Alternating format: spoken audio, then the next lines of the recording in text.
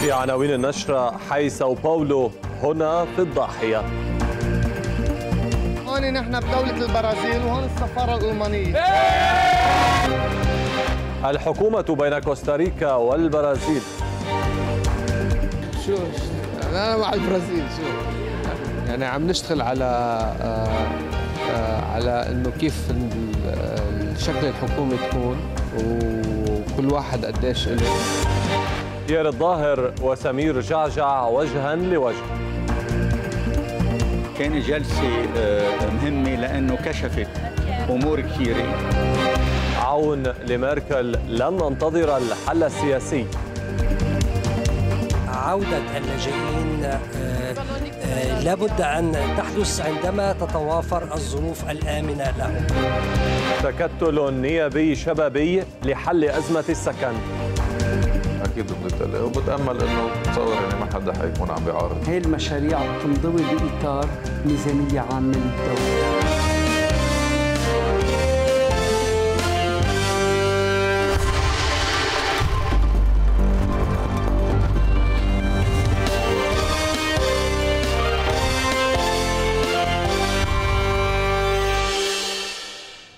كل التحيات واهلا بكم إلى آخر نشرة لهذه الليلة من قناة الجديد في بيروت. على واقع أقدام السامبا تنقلت الأحداث في لبنان من مكان إلى آخر حتى إن بحث تأليف الحكومة وجد له وقتا مستقطعا في بعبدة بين الرئيسين عون والحريري في استراحة الشوطين بين كوستاريكا والبرازيل. خرج بعدها الرئيس المكلف وابتسامة الفوز تعلو وجهه ليقول إذا عملنا بهذه الطريقة ننتهي من التأليف بسرعة كبيرة. لافتا إلى أن النقاش قد تناول شكل الحكومة وتوزيع الحصص وأن الشوط النهائي في المونديال الحكومي قد اقترب من منطقة الجزاء وبقيت مشاورات قليلة لتسجيل هدف التأليف في مرمى المعادلة الأخيرة.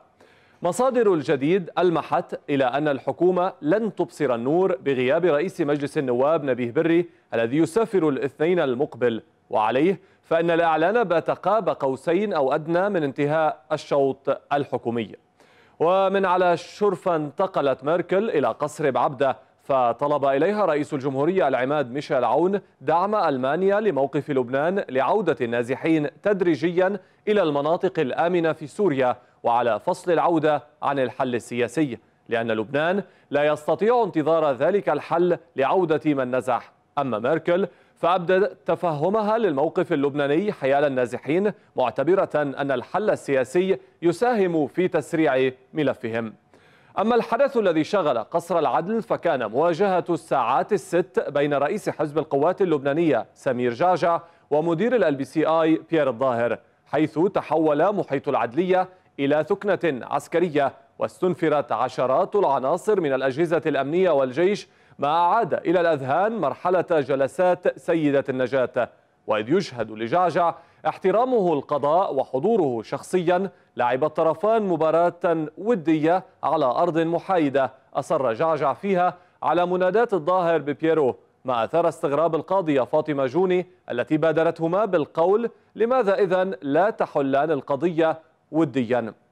وفي مجريات المواجهة وجديدها برز الاختلاف على الاتفاق إذ استند الظاهر إلى اجتماع عقد بينهما عام 92 بحضور الراحل أنطوان شويري وقال إنه في خلال ذلك الاجتماع جرى التنازل بموجب ورقة عن ال بي سي وأصبحت ال بي سي آي لكن جعجع نفى علمه بذلك وأنه عندما خرج من السجن اكتشف تغيير الاسم. وفي آخر ساعتي المواجهة حضر رئيس دائرة الإعلام في القوات اللبنانية آنذاك الوزير السابق كريم بقرادوني فأدلى بشهادة شاهد رأى كل حاجة. ونبقى في أجواء العدل وانتصار القضاء لحرية الرأي بعد رد قاضية الأمور العجلة دعوة تقدم بها أيمن جمعة ضد تقرير بثته الجديد موثق بالأدلة نشرتها شركة موساك فونسيكا وتسأل فيها صهر رئيس مجلس النواب نبيه بري من أين لك هذا؟ إذا تقدم أيمن جمعة بواسطة وكيله المحامي علي رحال بطلب أمر أمر عريضة بوجه محطة الجديد وموقعي درج وأريج أمام القاضي المدني الناظر بقضايا العجلة في بيروت الرئيس كارلا شواح طالبا منع محطة الجديد من نشر أي خبر يتعلق به أو بشركاته أو بأعماله.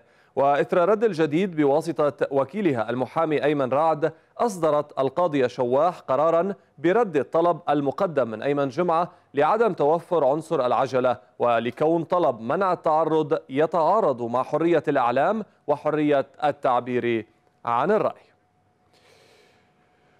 البداية من أرض برازيلية على أرض لبنانية فساو باولو البرازيلية فرع على أطراف العاصمة بيروت. أبوابه مشرعة أمام عشاق فريق السامبا في المونديال.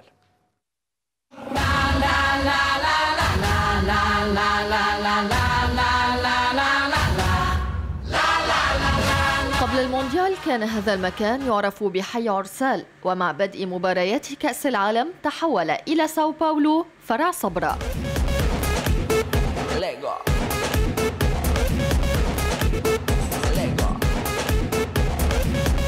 بأكثر من ألف علم برازيلي زين هذا الحي الفقير الواقع على أطراف العاصمة بيروت والذي يشبه إلى حد بعيد أحياء الفافيلا في ريو دي جانيرو.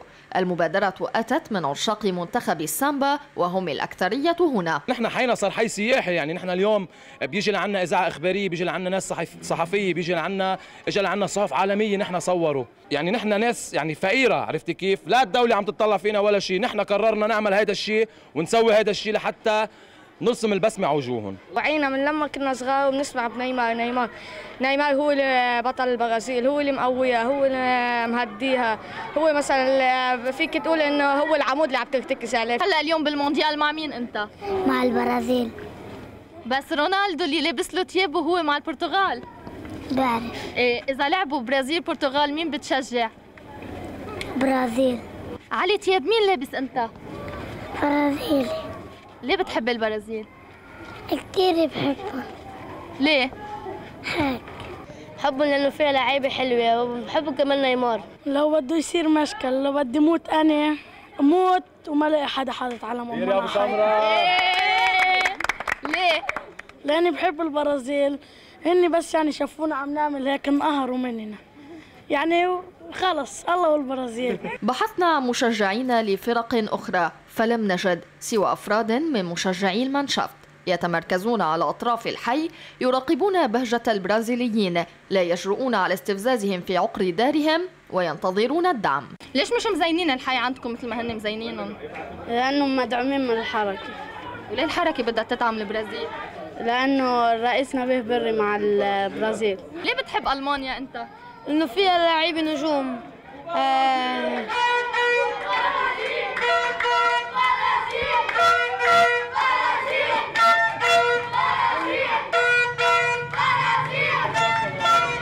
ما ما بيحكي الهم هلا نحن نحن إن شاء الله اليوم هالسنة الأربع نجوم يصيروا خمسة وليفاندوسكي يحط ثلاث جوال يغزوهم.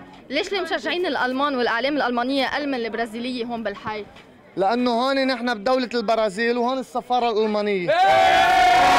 المانيا اسمع اسمع. أصفر أخضر عم يلمع. وراح نتلاقى بالفينال. حنخلي عيونك تدمع.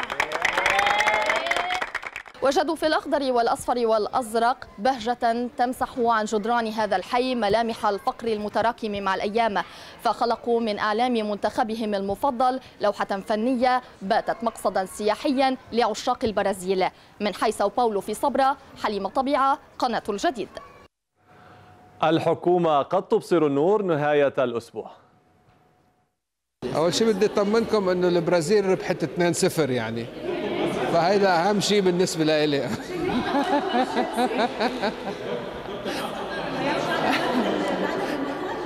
آه، عم تلعب ضد كوستاريكا. شو شو- أنا مع البرازيل شو؟ ممازحا بدأ رئيس الحكومة المكلف سعد الحريري حديثه إلى الصحفيين بعد لقاء دام أكثر من ساعة مع رئيس الجمهورية العماد ميشيل عون. ساعة من الوقت خرج بعدها الحريري مرتاحا ومبتسما. وأن دلت مدة اللقاء على شيء فعلى تطور إيجابي واضح في مسار تأليف الحكومة. كان اجتماع كثير إيجابي وحكينا ب يعني تشكيل الحكومة بالاحجام يعني وهيدا.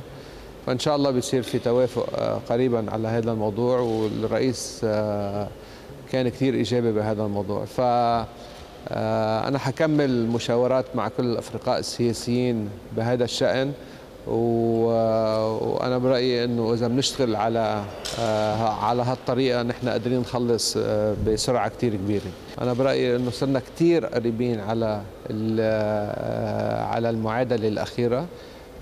باقي شوية مشاورات وإن شاء الله بنكون ساعتها بنوصل لا, لا إن شاء الله نحن أنا مكمل مشاورات هلا أول ما أرجع على البيت و وبدنا يعني أنا برأيي أنا متفائل كثير يعني. ما ب... لا لا ما يعني أنا برأيي وصلنا. واصلين واصلين. الجديد أجرت سلسلة اتصالات بالأطراف المعنية ففضلت عدم الكشف عن تفاصيل اللقاء لعدم التسبب بعراقيل.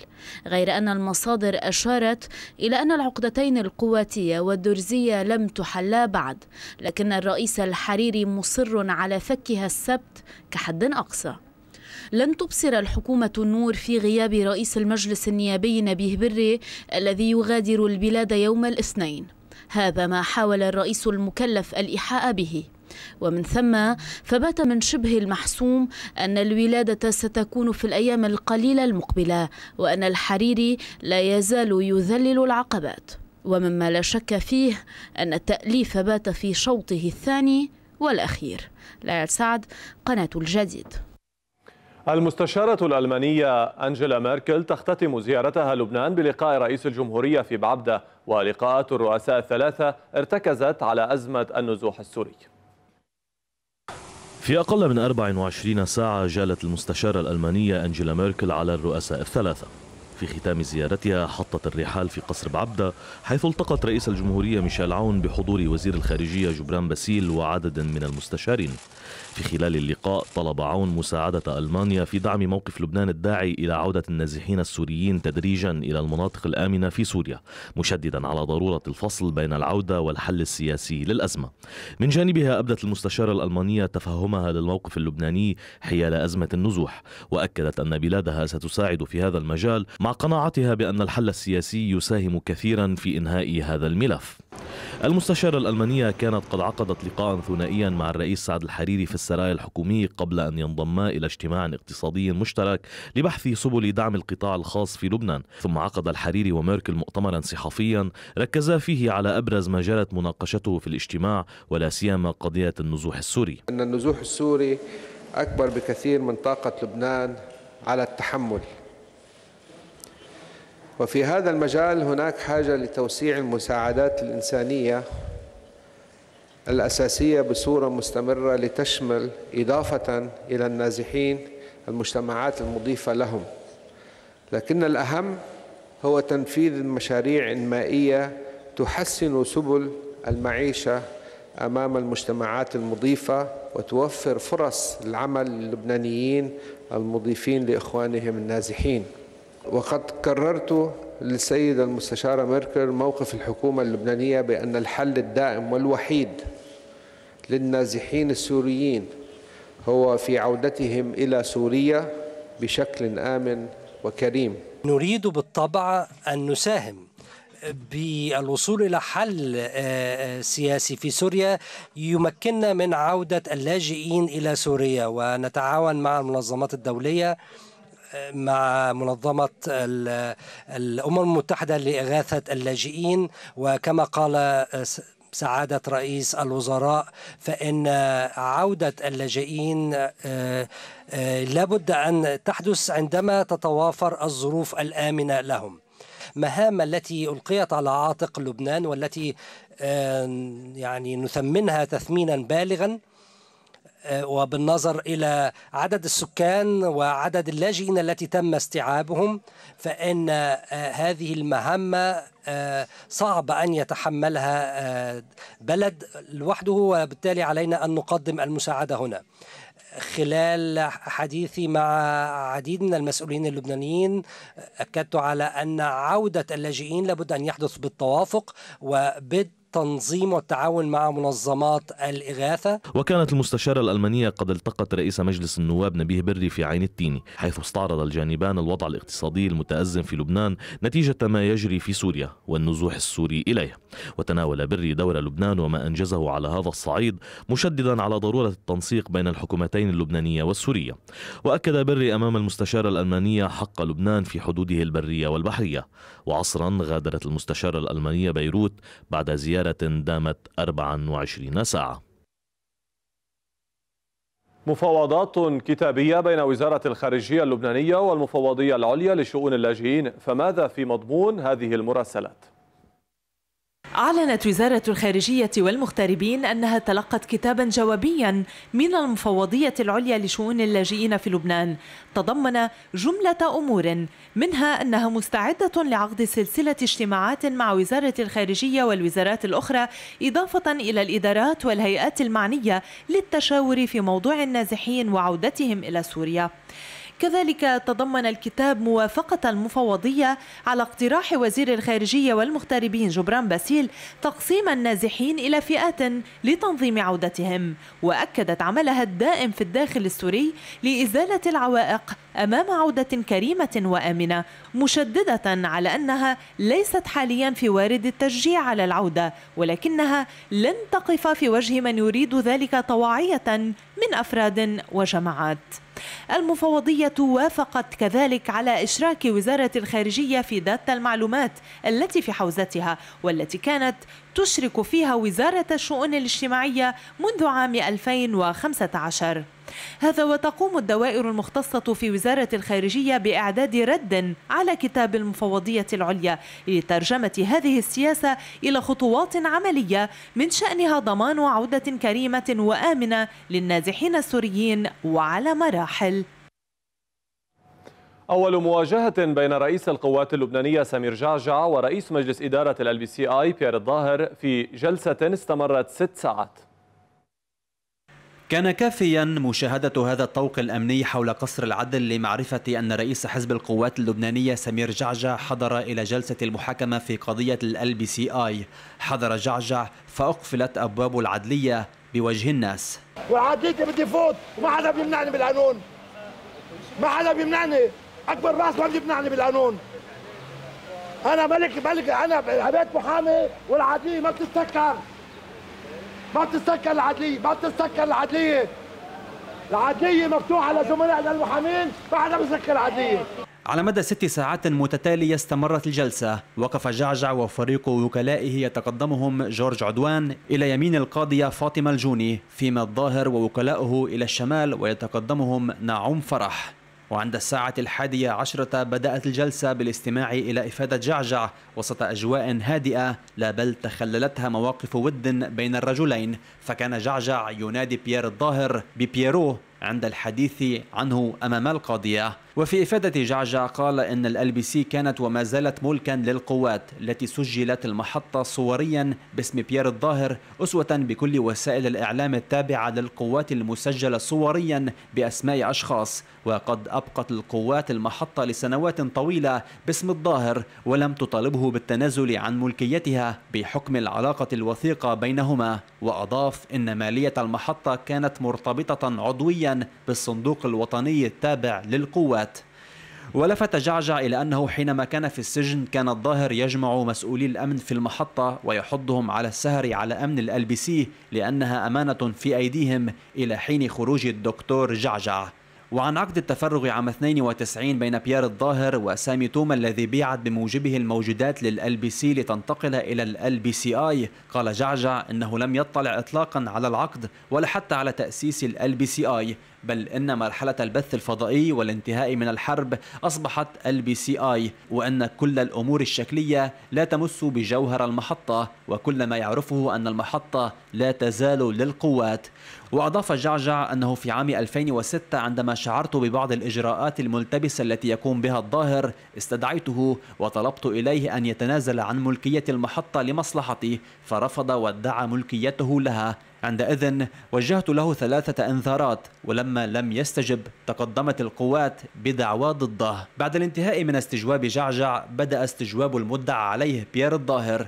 فأكد أنه اشترى موجودات محطة ال بي سي عام 92 بقيمة 5 ملايين دولار سددها على أقساط لحزب القوات موضحا أنه في عام 94 دهم الجيش مبنى المحطة في جونية ما اضطره إلى الطلب من جعجع تأمين مبنى آخر لينقل البث إليه. فقام الأخير بتأمين المبنى الحالي في أدمى مشيرا إلى أنه دفع مبلغ 900 ألف دولار ثمن المبنى احتسب من قيمة الخمسة ملايين دولار. وأشار الظاهر إلى أن الخلاف مع جعجع سياسي على كيفية إدارة المحطة وليس خلافا ماليا لأني كنت أريد أن تكون المحطة لكل اللبنانيين لا أن تكون تابعة لحزب معين وهو ما نفاه جعجع إلا أن الظاهر أصر على أقواله وبرر تفاوضه مع جعجع عام 2006 ليثبت أنه اشترى المحطة بموجب عقد بين الطرفين. وبعد أربع ساعات أدخل الشاهد كريم بقرادوني عند الساعة الثالثة بصفته قائد الدائرة الإعلامية للقوات اللبنانية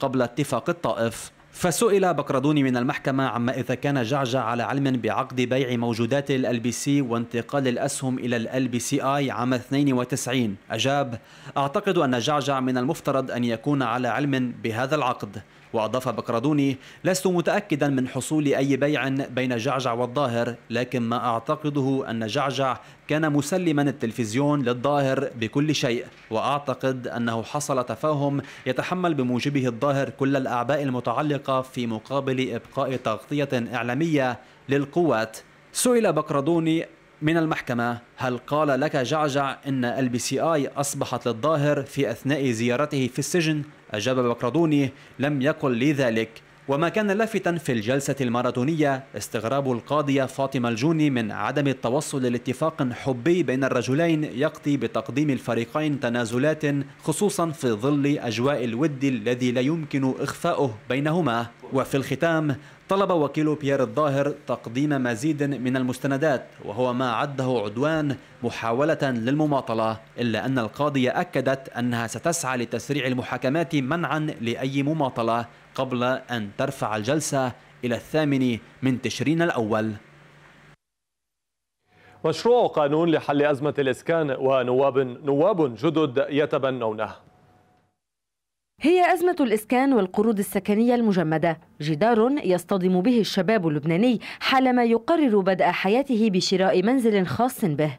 في مكاتب النواب وضع مشروع قانون معجل مكرر يحمل حلا لهذه الأزمة قدمته جمعية دعم الشباب اللبناني وهو من مادة وحيدة تنص على تخصيص 100 مليار ليرة لبنانية لدعم الفوائد على القروض السكنية المندرجة ضمن المؤسسة العامة للإسكان ومصرف الإسكان وجهاز الإسكان العسكري ضمن شروط كل من هذه المؤسسات. قدمناه للنواب في بعض نواب مضوا في بعض نواب عم بيتناقشوا فيه. خلال هاليومين بيعطونا أجوبة.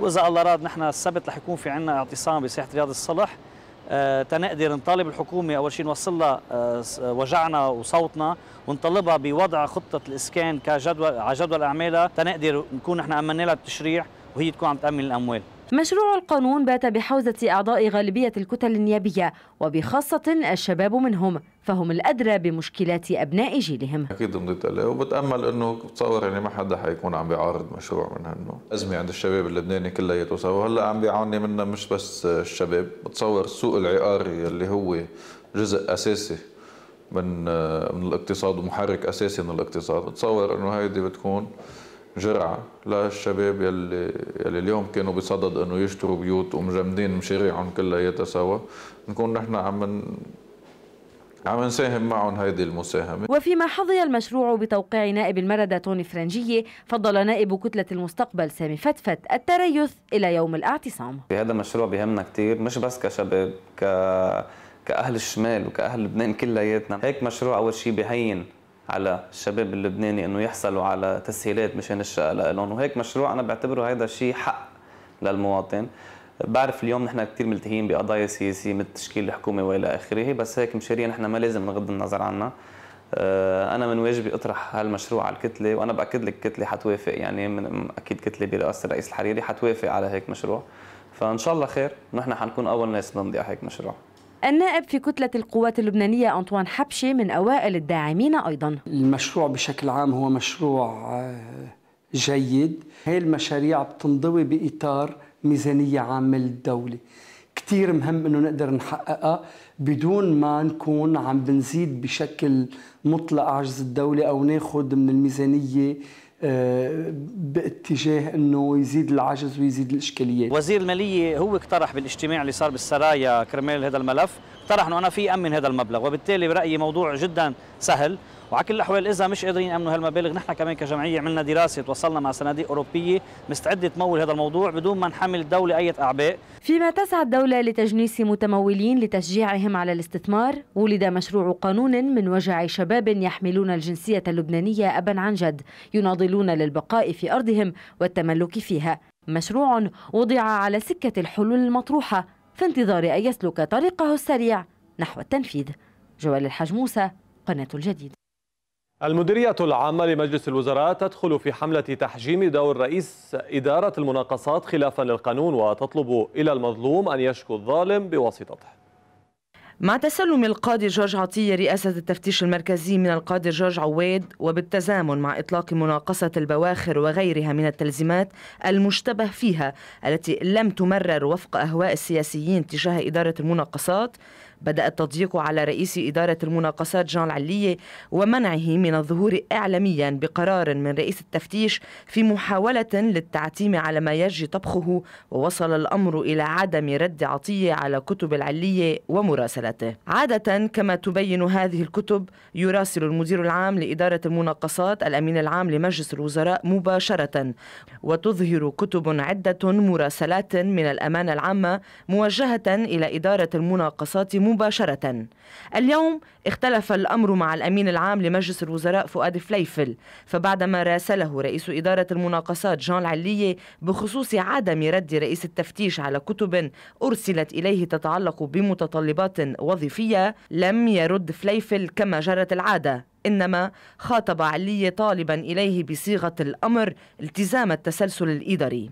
هي محاولة لوضع علي تحت وصاية رئيس التفتيش من خلال مخالفة كل الأصول والقواعد القانونية المستندة إلى المادة الأولى من المرسوم 2460 على 59 علما أن هذه المادة تؤكد وجود إدارتين منفصلتين ومتوازنتين ضمن التفتيش المركزي وهما التفتيش والمناقصات كما أن الاستناد إلى المرسوم رقم 111 ولا سيما المادة التاسعة منه لا يقع أيضا في موقعه القانوني لأنه وبحسب مصادر قانونية مطلعة فإن من المتفق عليه فقها واجتهادا أن قاعدة التسلسل الإداري لا تطبق إلا ضمن الإدارة الواحدة.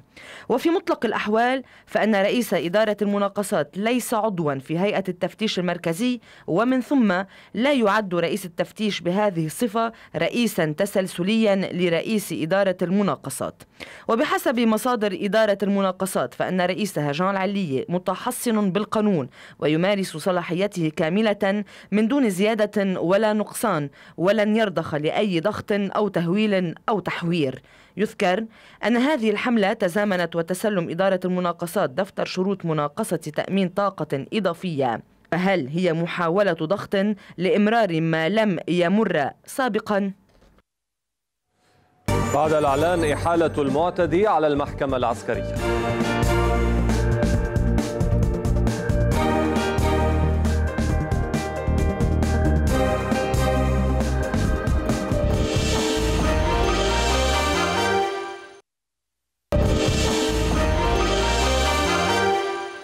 مرحبا بكم من جديد. بعد انتشار على وسائل الإعلام ومواقع التواصل الاجتماعي فيديو يظهر فيه أو يظهر فيه رجل يعتدي على عاملتين أجنبيتين من التابعية الكينية. تبين فيما بعد أنه عنصر أمني. أعلن وزير العدل سليم جريصاتي أن مفوض الحكومة لدى المحكمة العسكرية القاضي بيتر جيرمانوس قد أصدر أوامره لقيادة الشرطة العسكرية بتوقيف العسكري وزوجته ومواطن ثالث بقضية الاعتداء على الفتاتين وطالب بإحالة العسكري إلى المحكمة العسكرية. هذا وتم التواصل مع المديرية العامة للأمن العام لتسوية وضع إقامة الفتاتين المذكورتين في لبنان. ولاحقا أصدرت قيادة الجيش بيانا قالت فيه أن الحادث كان نتيجة قيام إحدى الامرأتين المذكورتين اللتين كانتا بوضع أو بوضع السكر الظاهر بالاعتداء على أحد العسكريين وهو باللباس المدني وقد كانت برفقته زوجته من خلال ضربه بزجاجة على رأسه ما دفع أحد المدنيين إلى التدخل وضرب الامرأتين المذكورتين وقد باشرت الجهات الأمنية المختصة التحقيق في الموضوع. الرئيس ميشيل عون شارك صباحا في افتتاح المقر البطريركي الجديد للكنيسة السريانية الأرثوذكسية في بلدة العطشانة بالمتن الشمالي. إلى بلدة العطشانة في المتن الشمالي توجه رئيس الجمهورية العماد ميشيل عون لافتتاح مقر جديد لبطريركية إنطاقيا وسائر المشرق للكنيسة السريانية الأرثوذكسية معربا عن سعادته لما يحمل هذا الحدث من تشبث بالأرض وجذور وتثبيت للوجود والهوية. لقد درجت العادة على إطلاق تسمية أقليات على بعض الطوائف في لبنان ومنها السريان. ونتج عن ذلك حرمانها من بعض حقوقها السياسية كما من بعض الوظائف العامة. من الخطأ مقاربة الواقع اللبناني من منطلق أقليات وأكثريات. فهذه البلاد منذ فجر التاريخ كانت أرض تلاق لشعوب ومجموعات دينية. واضعا نصب عيني الوقوف. من موقع مسؤوليتي مدافعا عن تجربة العيش المشترك والتوازن والاحترام المتبادل بين مكونات الشعب اللبناني. سأسعى مع الجميع إلى ولادة حكومة تعكس رغبات هذا الشعب وتوازناته وتوصل صورة مشرقة إلى العالم عن عزمنا الأكيد كمسؤولين سياسيين عن السير قدما في مشروع النهوض بالوطن والإصلاح والشفافية ومواجهة الفساد والمفسدين. وأضاف عون أن افتتاح هذا المقر هو رد على كل محاولات تفريغ المشرق من بعض مكوناته. ورسالة واضحة لمن خطف المطرانين يوحنا إبراهيم وبولس اليازجي.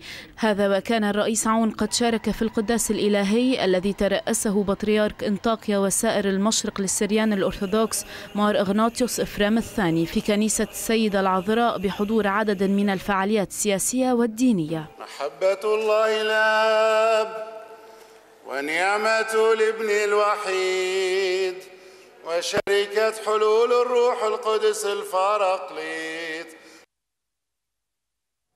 دعاوى قضائية بين الأهالي في بلدة المغيري بسبب المدافن في قرية المغير في جرود جبيل صدر قرار قضائي في الحادي والعشرين من الحالي يقضي بمنع أي عمل في العقارين رقم 186 و 187 بما فيه الدفن لمدة 48 ساعة من تاريخه. وذلك تحت طائلة دفع غرامة مالية تبلغ 50 مليون ليرة لبنانية عن كل مخالفة لهذا القرار.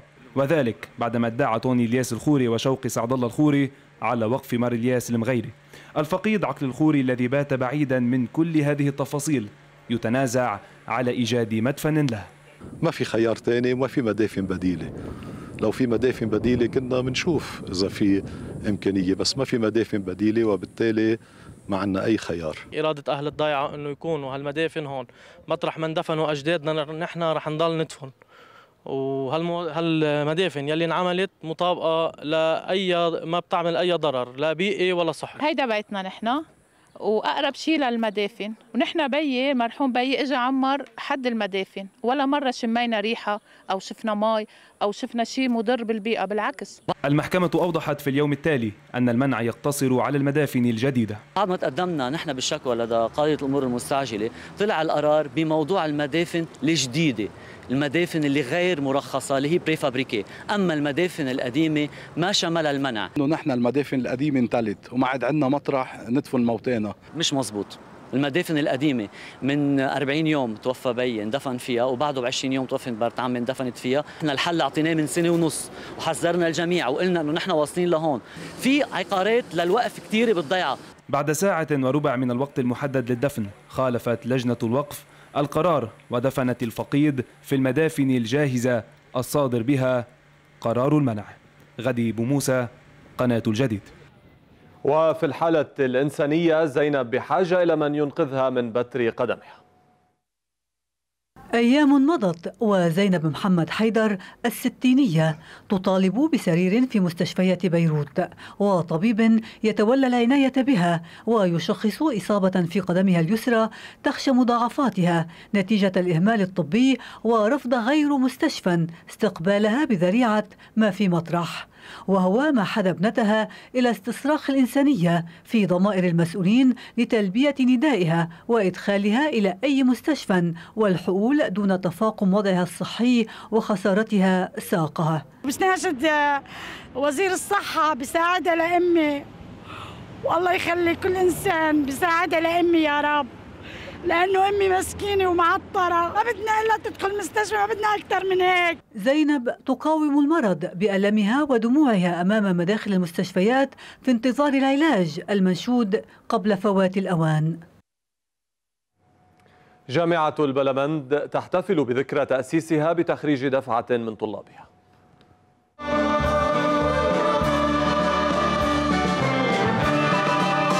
احتفلت جامعة البلمند بتخريج 1516 خريجا من طلابها للعام الدراسي الحالي برعاية بطريرك أنطاكيا وسائر المشرق للروم الأرثوذكس يوحنا العاشر يازجي وحضور يمثل رئيس الحكومة المكلف النائب سامي فتفت ووزير الدفاع يعقوب السراف وحشد من الشخصيات. وشمل الاحتفال الخريجين في فروع الجامعة كافة في لبنان من الحرم الرئيس في الكورة إلى عكار وسوق الغرب والأشرفية وسن الفيل. مع مرور السنة الثلاثين على تأسيس هذه الجامعة جامعة البلمند والتي بكل اعتزاز وافتخار صنفت هذا العام في المرتبة الثالثة بين الجامعات في لبنان. ومن الجامعات المعروفة في العالم.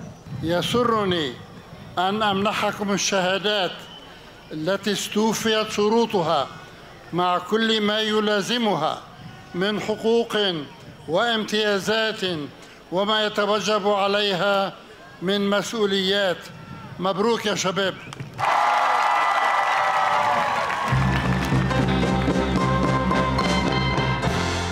وتزامن تخرج هذه الدفعة من الطلاب وذكرى تأسيس الجامعة وشهد عروضا متنوعة ولوحات فنية من تصميم الفنان عمر الرحباني وتنفيذه.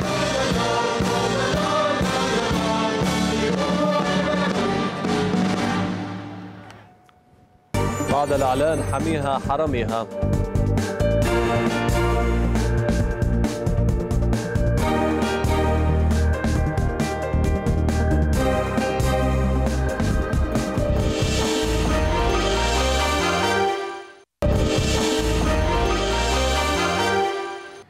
مرحبا بكم من جديد. وفد أمريكي يزور منبج ويتصرف كمالك له. كشف المرصد السوري لحقوق الإنسان أن وفدا أمريكيا يضم قيادات عسكرية رفيعة المستوى يتقدمه قائد القيادة الوسطى في الجيش الأمريكي جوزيف فوتل زار رسميا مدينة منبج التي تسيطر عليها قوات مجلس منبج العسكري. وتقع في الريف الشمالي الشرقي لحلب. والتقى القيادة العسكرية للمجلس والإدارة المدنية للمدينة وممثلين عن شرائح المدينة. ونقل المرصد عن المسؤولين العسكريين الأمريكيين تأكيدهم أن مدينة منبج لا تشكل خطرا على أحد وأن من حررها من تنظيم داعش سيبقى هو القوى المسيطرة عليها. مؤكدين استمرارهم في دعم المدينة والقوى العسكرية الحاكمة لها. وجل الوفد الأمريكي في المدينة واطلع على واقعها وتعد هذه الزيارة الأولى من نوعها بعد التوصل إلى اتفاق أمريكي تركي حول مستقبل المدينة يقضي بانسحاب وحدات حماية الشعب الكردي من المدينة نحو شرق الفرات وإنشاء نقاط مراقبة تركية أمريكية على خطوط التماس بين الطرفين في ريف منبج لمراقبة تطبيق الاتفاق. وأثر الاتفاق جدلا واسعا في منبج ذلك أنه يجعل المدينة وكأنها أرض بلا صاحب وكأن لا سيادة لدولة عليها. ويتصرف فيها الأمريكي كما يشاء ويهديها لمن يشاء تماما مثل ما يفعل الاحتلال الإسرائيلي على أرض فلسطين. ومن شأن اتفاق كهذا أن يعزز مساعي تركيا في محاولة فرض وجودها الكامل على الشمال السوري وخصوصا على غرب نهر الفرات. ترامب يتراجع عن عزل أطفال المهاجرين عن أسرهم. رضخ الرئيس الأمريكي دونالد ترامب للضغط العام ووقع امرا تنفيذيا يعد فيه بالحفاظ على الأسر معا في مخيمات للمهاجرين. وتراجع ترامب عن سياسته وسط غضب دولي من فصل الأطفال والآباء والأمهات الذين لا يحملون وثائق هجرة. وقال ترامب إن السبب وراء قراره الأخير هو صور الأطفال الذين انتزعوا من والديهم الذين يقبعون في السجن وينتظرون المحاكمة بسبب عبورهم الحدود بطريقة غير قانونية. وأضاف إن زوجته ميلانيا وابنته إيفانكا اللتين قيل إنهما ضغطتا عليه لإلغاء سياسته تشعران بشدة بضرورة التوقف عن فصل الأسر. ولكن الأمر التنفيذي الجديد لا يعالج حالات الأسر التي أدت سياسة ترامب إلى فصل أفرادها فعلا. ويقول مسؤول الهجرة في الولايات المتحدة أن 2342 طفلا فصلوا عن 2206 أشخاص من الآباء والأمهات في الفترة الواقعة بين الخامس من أيار والتاسع من حزيران. وأثارت في الأيام الأخيرة عشرات الصور لأطفال نائمين في حظائر مسيجة وأصوات بكائهم انتقادات واسعة النطاق. وأبلغت ست شركات طيران أمريكية إدارة الرئيس ترامب عدم استخدام طائراتها في نقل أطفال المهاجرين الذين يفصلون عن أبائهم وأمهاتهم. وصوت مجلس النواب الأمريكي الخميس على مشروع قرار يقضي بوقف فصل أطفال المهاجرين عن أهاليهم عند دخولهم البلاد بطريقة غير شرعية. وإلى سرات صالحة وفقرة ترند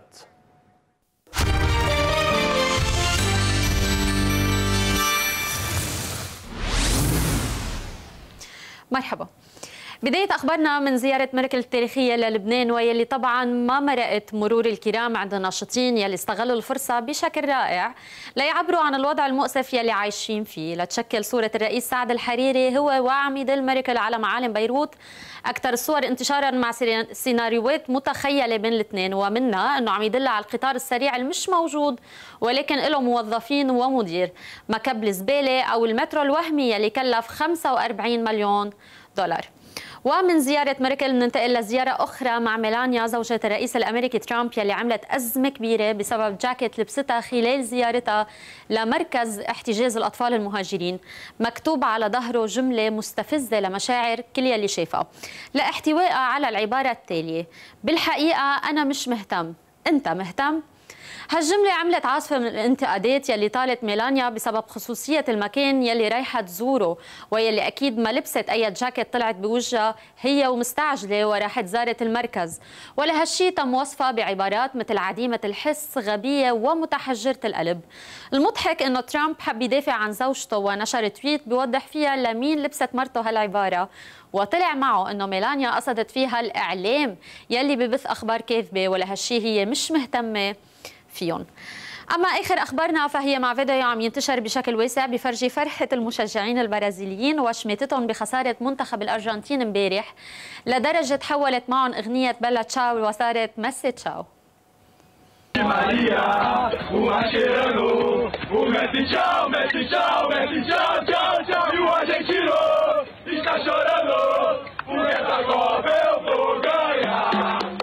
O o Messi tchau, Messi tchau, Messi tchau, tchau, tchau, e o argentino está chorando, porque essa Copa eu vou ganhar. O Maria. أنا أيضا بدي أودعكم مع هالفيديو لمزيد من التفاصيل تابعونا عبر صفحة Trends على فيسبوك وعبر صفحاتي على فيسبوك تويتر انستغرام سناب شات وعلى الأكيد ما تنسوا ت tag and hashtag Trends وأنا برجع بشوفكم بكرة بنشرة جديدة باي هذا تذكير بالعناوين حي ساو باولو هنا في الضاحية. هون نحن بدولة البرازيل وهون السفارة الألمانية. الحكومة بين كوستاريكا والبرازيل. شو؟ أنا مع البرازيل شو؟ يعني عم نشتغل على آه، آه، على إنه كيف شكل الحكومة تكون وكل واحد قديش له. بيير الظاهر وسمير جعجع وجها لوجه. كان جلسة آه، مهمة لأنه كشفت أمور كثيرة. عون لميركل لن ننتظر الحل السياسي. عودة اللاجئين آه، آه، لابد أن تحدث عندما تتوافر الظروف الآمنة لهم. تكتل نيابي شبابي لحل أزمة السكن.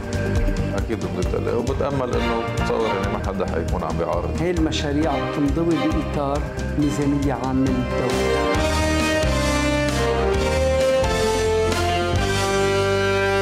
وبهذا نصل إلى ختام النشرة. الملتقى الإخباري المقبل يتجدد في النشرة الصباحية. تصبحون على ألف خير.